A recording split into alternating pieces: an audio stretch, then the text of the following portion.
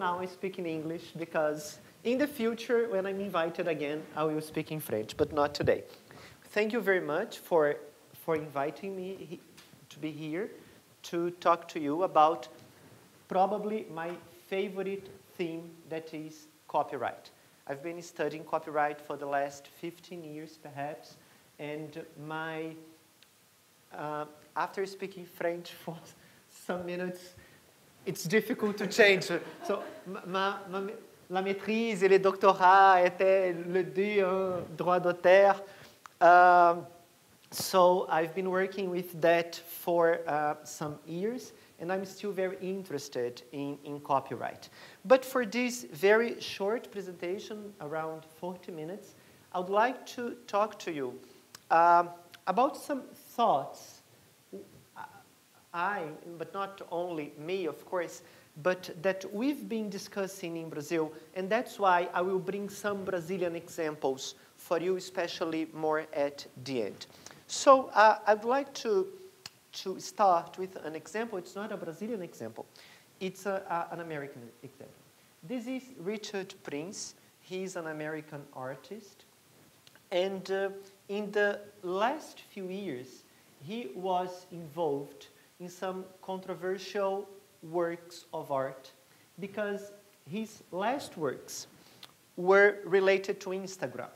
He went to Instagram accounts, you know Instagram, the, the app for pictures, and he copied some pictures of other people and he made uh, comments. Sometimes you can see that the last line is a comment of Richard Prince.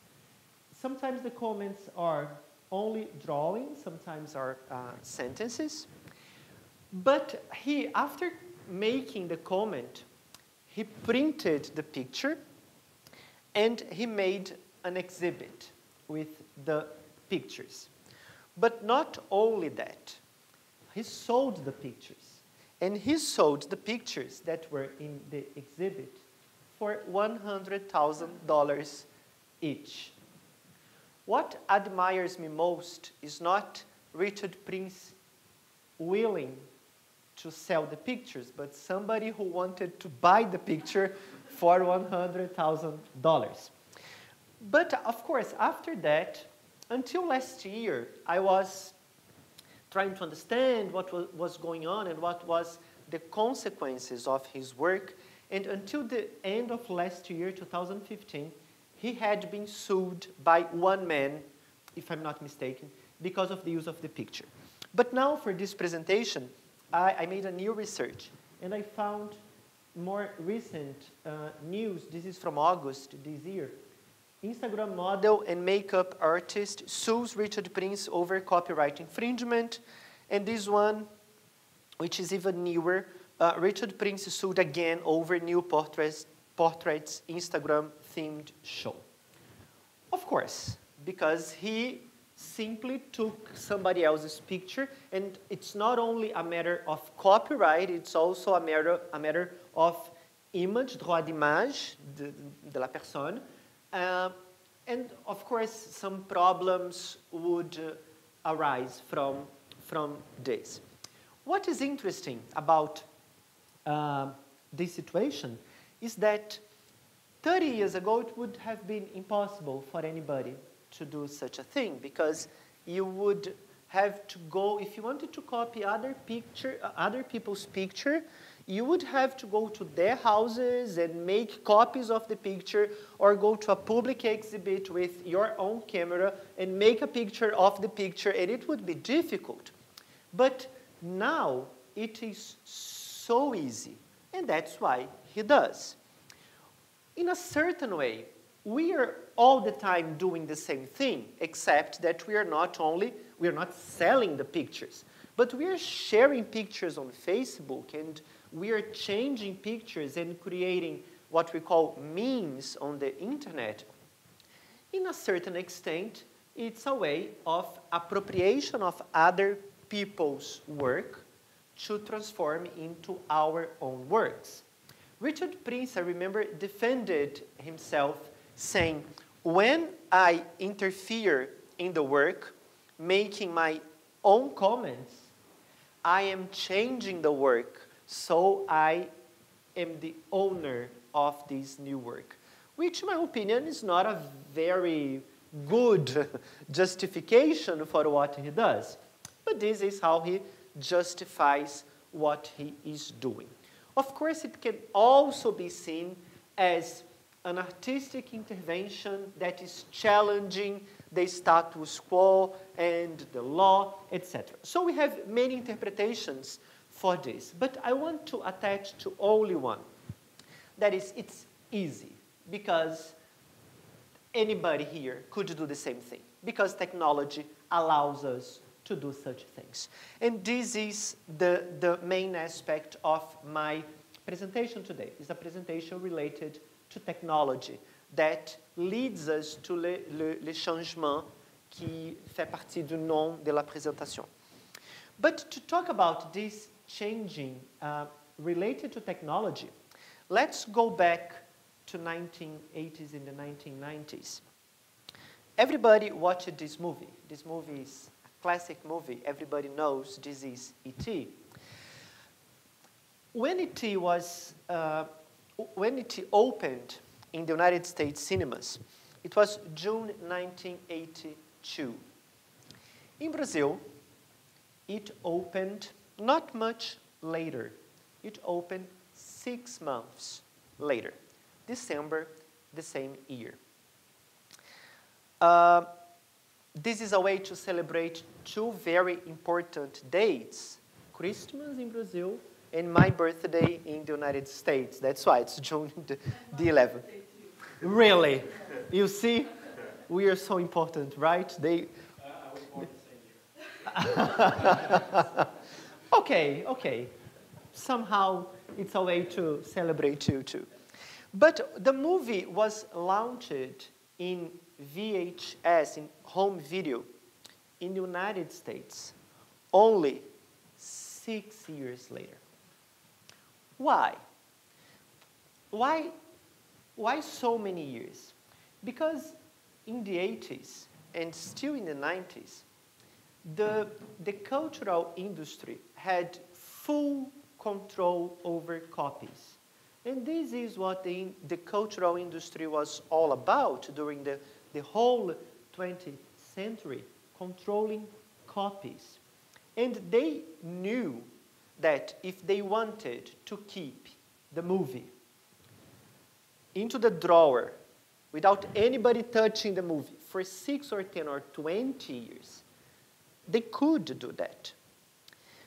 But now it's completely different, as we know. If you are a fan of Game of Thrones, I'm not, but I know how famous this, this series is. If you are a fan, you don't want to wait until the next week uh, to have the, the new episode in your own country with subtitles in your own language. Because if the, the, the new episode is on TV in the United States, because of globalization and social networks, etc., five minutes later, you will know everything that happened in the episode because of spoilers. And uh, even if, if it's not the case, in a matter of minutes or hours, you will have access to the full, full episode because of piracy or whatever you want to call. So now we cannot wait uh, as much as we want to have the new release of the book or the movie or the, the music because we know that we don't control copies anymore. Uh, this is due to the theory of market failure. I think everybody has heard of that.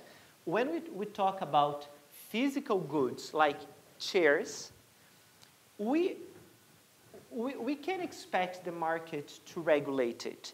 For example, if we have here, I don't know, 25 or 30 chairs, we can have 25 or 30 people sitting here to watch the presentation. But if we have 40 people some will not be able to sit down, or we will need more chairs. However, when we talk about intellectual property in general, it's not only copyrights, but it's also trademarks and patents, the market is unable to provide full solutions for the, the, the, the buying or, the, or acquiring access to goods. For example, if I write a book and my book is published, one person can buy the book, can, make, can scan the book, and send the book by email to 30 people. So in theory, this is not completely correct, but in theory, 30 people did not buy the book to get a free copy. So less 30 copies of the book were sold. This is not completely true because not all the 30 people would buy the book. Because some would say, uh, for free I want the book, but I, I don't want to, I, I wouldn't spend $5 in this book because I, I don't think it's worth it. But for free, okay, for free I want.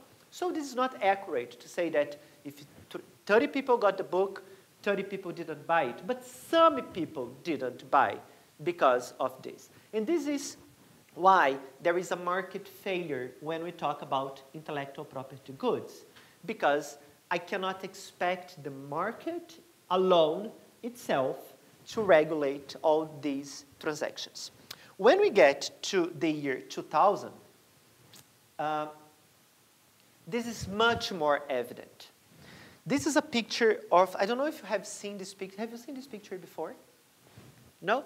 This is a picture of people in the city of Vatican waiting for a new pope because uh, Johann Paulus II had died and people were waiting for the Vatican to announce, to say what the next pope was. And this is 2005, people waiting there.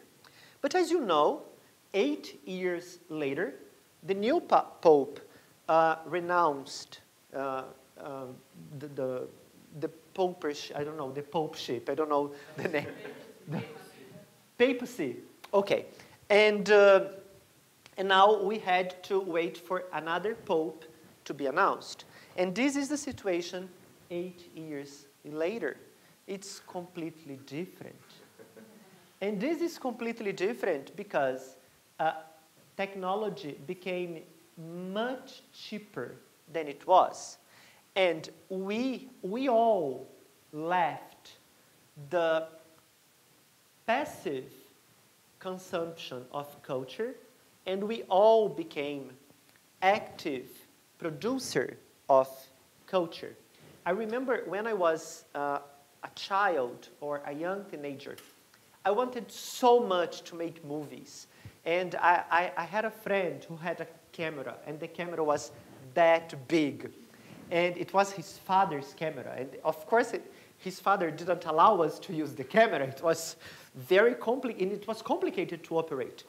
But we made a movie for school, and it was something fantastic for the time. We managed to make a movie for the school. And 25 or 30 years later, any kid can do that. And any kid can write a book or, or compose a song. And this makes the, the, the whole difference in the way we deal with cultural industry. Uh, in the beginning of this century, we started to have collaborative projects. You all know everything that I'll show. It's Wikipedia, everybody knows it. Uh, people started having blogs as Blogger and WordPress, so people could write whatever they wanted. And this is a, an ancient social network in Brazil before Facebook. And Brazil was, was one of the last countries in which Facebook became a success. Now it's a huge success. Everybody has Facebook. But until 2011, Orkut was the most famous social network in Brazil. It was only in 2011 that Facebook became more um, popular. So Facebook, social network, Twitter, uh, YouTube, where you can upload your own videos, Flickr and Instagram, where you can upload your own pictures, Pinterest, which I don't know exactly what's the purpose of the website, and Snapchat that only if you are under 20 years old you know how to operate. For me, it is a mystery. I divide humanity now in can you operate Snapchat? You're probably a teenager. Can't you? Welcome to adulthood because adults can't use Snapchat. It's, it's not very intuitive. However, despite all these changes, we insist somehow, and I could stay here for hours saying how, how much effort is done to transform this digital world and technologies into simulations of old technologies. Kindle, for example, has a way to let you lend or borrow Kindle, Kindle books. But the fact of lending or borrowing books is related to the copies because if I lend somebody a copy of my book, I don't have the copy with me, so I cannot read that book for the time the book is lended. And this is what Kindle does. When you lend somebody a book, the book is blocked on your, or, on your Kindle and you cannot read it. But of course, uh, of course, whenever such a technology is created, somebody goes there and makes something on the technology so it will not work anymore and you can countervene the technology and use the, the good any way you want. It was, some years ago, it was very, not very common, but in Brazil we had, for example, some CDs that could not be copied, uh, what we called DRM the, or TPM. And uh, of course, money was spent on technology to prevent the CDs to be copied. But you went to a, a, store, you bought a CD, it was not cheap in Brazil. In fact, it was very expensive. Then you spent, I would say, 10 or 15 Canadian dollars to buy a CD, and you couldn't copy your own CD in your own computer. You couldn't make a copy because it was impossible. You couldn't make a copy of your own CD into your own iPod. However, a 14-year-old kid would buy the CD, would somehow change the, te the technology inside, and would copy everything, put it online, so anybody could download it for free and uh, copy the song and have the songs wherever they wanted. In my opinion, this was in fact an incentive to piracy because it was much easier not to buy and use the songs anywhere you, you wanted. And this is why I think the industry decided not to have DRMs anymore, at least in Brazil. Consequences of all these things. First of all, a freedom of choice that will have a concrete consequence. When I was a young boy and I arrived from school, I couldn't do much more than watching TV. I turned the TV on and there were, believe it or not, until 1996 perhaps, or 7 in Brazil, there were only six or seven TV channels, no pay TV. Only six or seven public open channels in Brazil.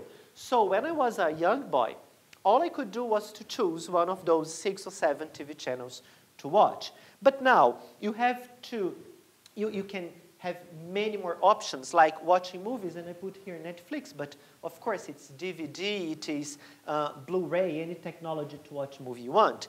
Uh, Spotify, I mean listening to songs. You have Amazon to buy cheap books, many books for free because they're in public domain, so the access to texts is much bigger you have your mobile. Any kid has a mobile, and you can use for all of these, or also uh, to play games. Many are free. Uh, to use social networks and even do it yourself. When I said I wanted so much to make movies when I was a young boy, now any young boy can make as many movies as they want and upload them to YouTube, etc. the, the direct consequence of this is that uh, although the technology has increased, developed, and we have many more options, the day still has only 24 hours, and money is finite, it's not in infinite. So I have to decide how to spend my time and my money in a much wider uh, possibility than before. And this is one, I don't say that it's the only reason, but it is one of the reasons why uh, people go less to the movies and buy less CD or pay, for le pay less for content because I have much more free, and I, when I'm, I'm saying free, I say legal free content on the internet, but I still have 24 hours. Uh, I have a friend who says, scarcity, what's scarce now, is not my possibility to choose. What's scarce now is my time. In fact, if you want me to watch your movie, you should pay me because why should I watch your movie and not other movies? If, if there are so many other movies legally for free on the internet, why yours? So my time is scarce. What is lacking now is my time and not the possibilities of cultural goods. Uh, perhaps the most important consequence is the possibility to give new voices the chance to be heard. For example, this is Amanda Hocking. She was the first person to sell over $1 million self-publishing in Amazon. She did everything. Uh, the cover, the text, of course, the, the, cover, the promotion, the marketing, and everything. And uh, she earned more than $1 million. The funny thing is that after being so famous, she signed an agreement with a traditional publishing house, perhaps because we still have this fetishism with traditional media. The same thing happened with Susan Boyle. You probably remember her. She came from a TV program, but she became very famous due to internet. She was very famous because of her song playing on the internet. After becoming very famous, she recorded a CD in a traditional recording company. So we still, I think, we still think that to be successful is to be on movie theaters, to record a CD, to publish a printed book. If we don't do that, we are not a successful movie director or singer or author. In Brazil, we have some uh, good examples. This is a singer. He plays a very typical kind of song from Rio de Janeiro, where I, I live, but it's a, a, a kind of music more related to the peripheries of the city. So, he is, I have never heard of him. He has never been on TV. He has never recorded a CD but it says here that he earns around 200,000 Canadian dollars per year. Not bad, right? Not bad. For an unknown singer, this is not bad. But he has lots of fans that go to his shows and pay for that. This is uh, another Brazilian. He also lives in Rio. His name is René Silva. And he became very famous five years ago because he lived in a poor area of the city. And some years ago, the government of the state had a program to occupy parts of the cities that were controlled by drug dealers. But they, they didn't send the police like, uh, you go there and you occupy. It was previously informed, so uh, drug dealers could leave the places and there wouldn't be a, confrontation. So this happened in many places some years ago.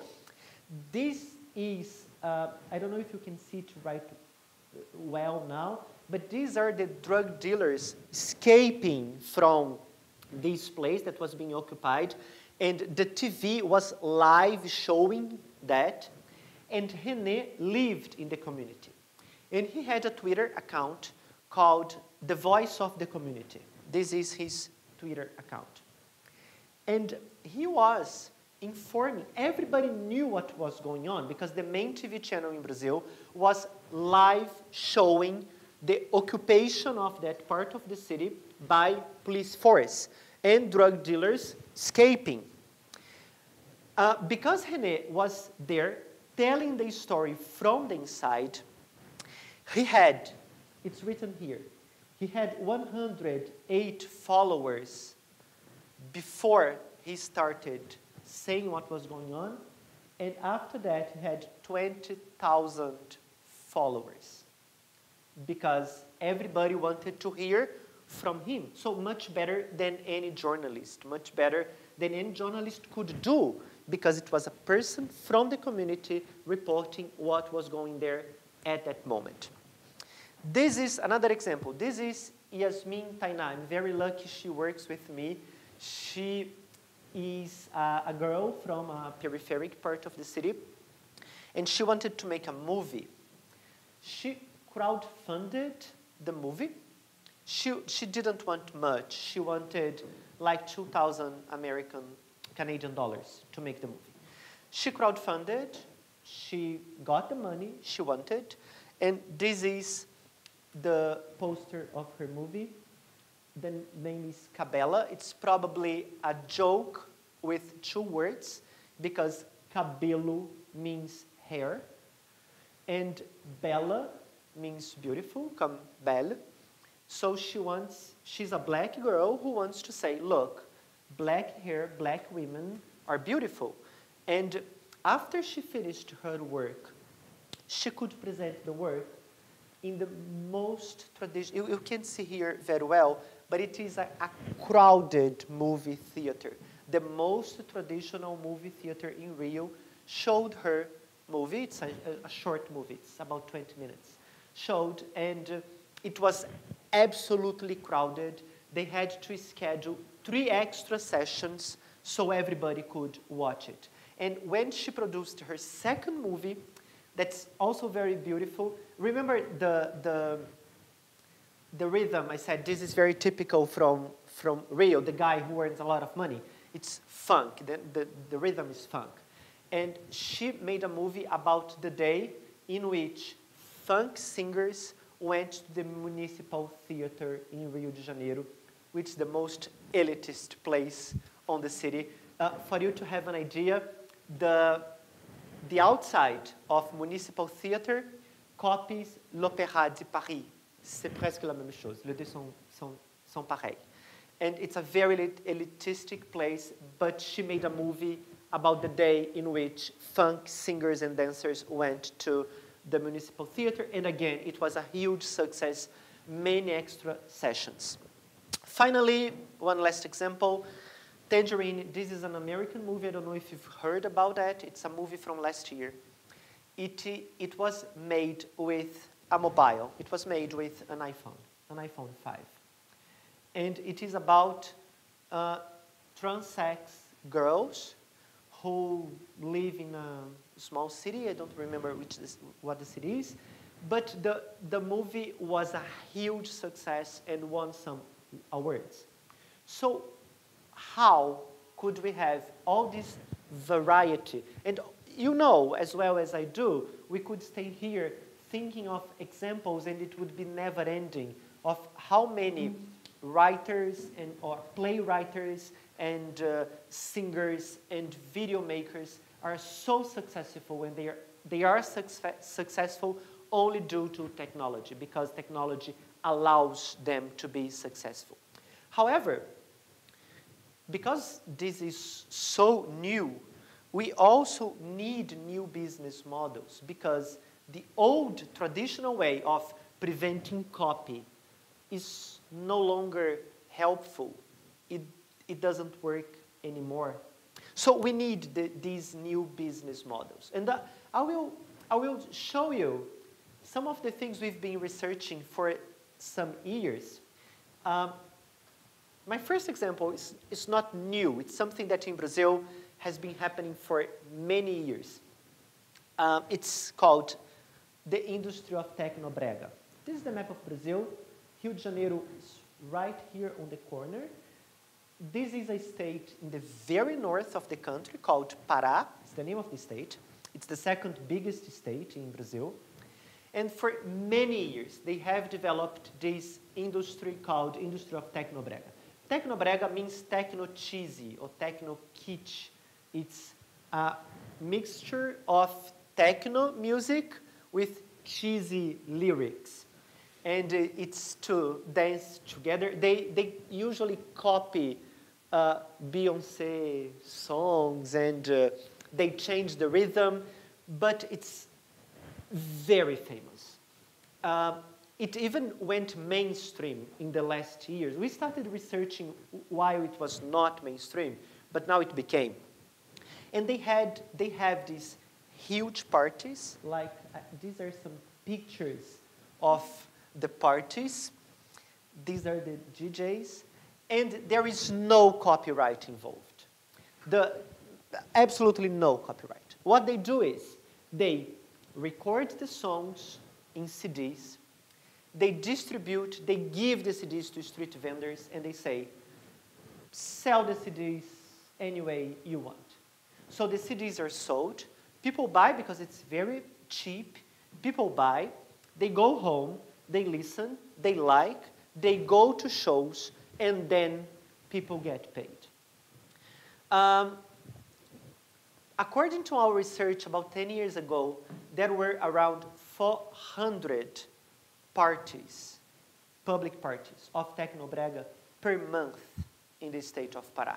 It's a lot. And many times you would go to these parties, you pay, and at the end of the party, at the end, you could buy a DVD with the recording of the party in which you were. So it was a, a very fast way of making information circulate. This is very similar to Nigerian movie industry. I don't know if you know, but Nigeria is the country in the world that produces the highest number of movies, more than India and more than the United States. And about 10 years ago, we made research um, on this business model, and it's very similar. Nigeria is a country with 150 million inhabitants. It's a lot. Brazil has a little more than 200 million, so it's, it's really a lot. And they, they sell the movies on street vendors, very cheap, so no piracy because nobody's going to pirate something that is already very cheap. And uh, we received in Brazil one um, movie producer, Nigerian movie producer, who said, movie industry in Nigeria is so successful that after agriculture is the area of economy in which more people work. And after petrol is the area of economy more profitable in Nigeria. And uh, I, I, I, didn't know if it was if it is, was still like that, but this is information from, from February this year saying that annually they produce about 2,500 films, which is still a lot, more than India. India, in average, produces 900 or 1,000 movies, and the United States about 600 movies. But Nigeria, Nigeria is 2,500 movies. It is a lot. And they it's not said here, but I think they, I can't remember, the, the amount of money they make is absurd. It's only, it's behind only the United States. Of course, because the United States, even if they produce less, they, they get much more money. But Nigeria exports films to the whole Africa, and there are some uh, Nigerian movie festivals in England, and if I'm not mistaken, this year the Toronto International, International Film Festival had some Nigerian movies there. Um, Other examples were Radiohead. I don't know if you remember, this is from 10 years ago. They released uh, a CD and said, pay whatever you want. Uh, I know you will download it illicitly, so I don't care. You just pay as much as you want. And as, I, as far as I can remember, the amount of money they got from this pay what you want strategy was around $10 per CD, which is very good indeed, very good. Iron Maiden did something more radical. They decided to investigate where piracy was bigger. And if piracy was big somewhere, they went there to make shows because they knew that there was an interest in their work on that place. So let's not fight piracy, let's use piracy in our favor. Let's not fight BitTorrent. If our songs are being downloaded illegally somewhere, we go there and we offer our show. In my opinion, Netflix is, seems to be the, the best model uh, so far. This is the best way so far people found. Because for many years, industry just didn't know what to do. Uh, they tried to emulate the physical conduct into the digital world. It was not very, very efficient. It was not very efficient. Um, then they tried to, okay, so let's do this. Let's sell electronic books almost the same price we charge for printed versions. It also doesn't work.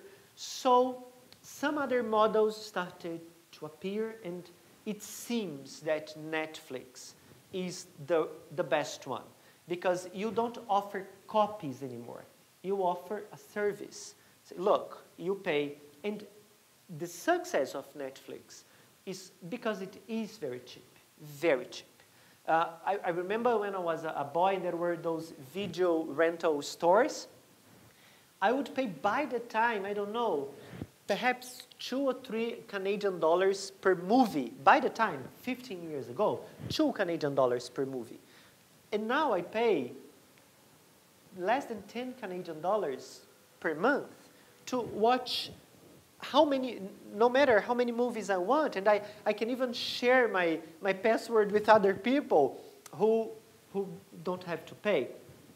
So Netflix seems to be, industry is not, I, I think industry is not sure yet what will be the, the, the business model for the future, but it seems to be something like Netflix.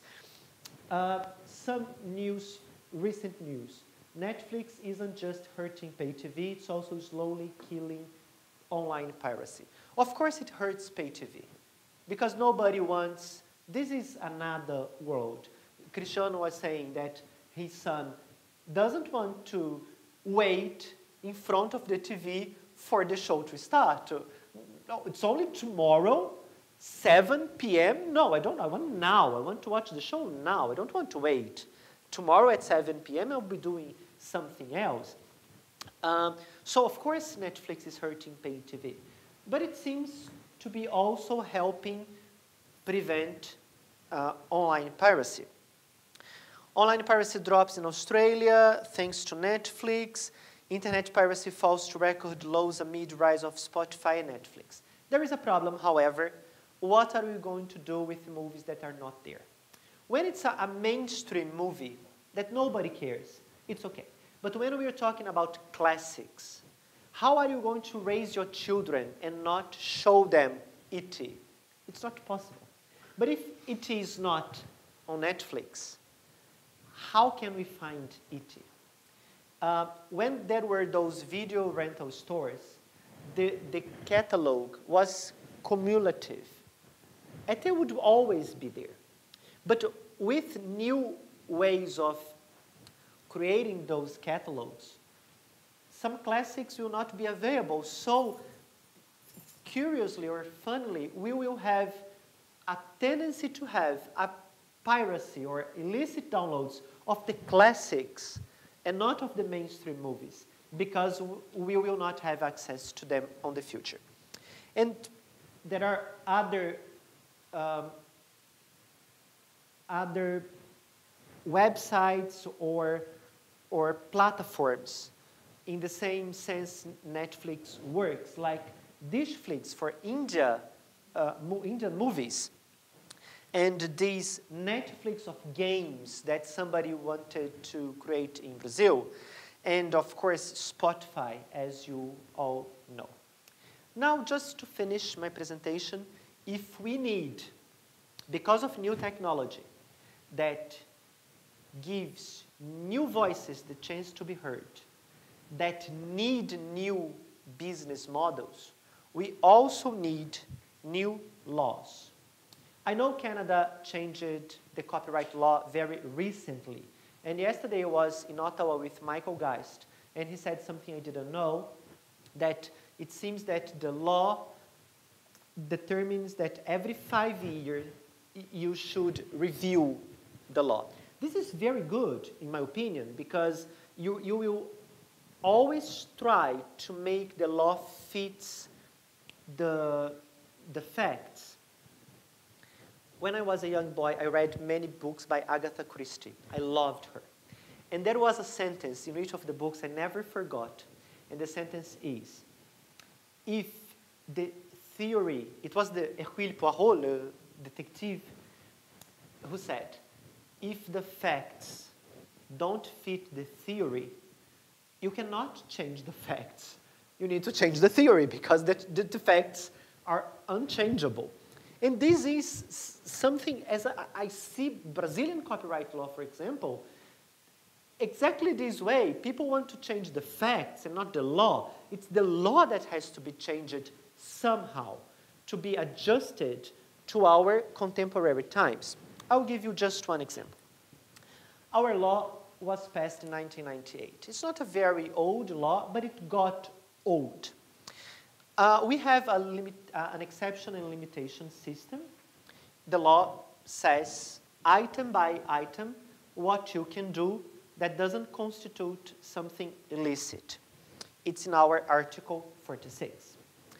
According to this article, if I make, if I make a very strict reading of the article, if I want to copy the content of a CD that I bought to my own iPod, this is not allowed, which means private copies are not allowed. If I want to show a movie for educational purposes in a public school, this is not allowed. Not even in a public, a public school, unless, of course, the movie is on public domain. If I want to make a copy of an out-of-print book, I am also not allowed.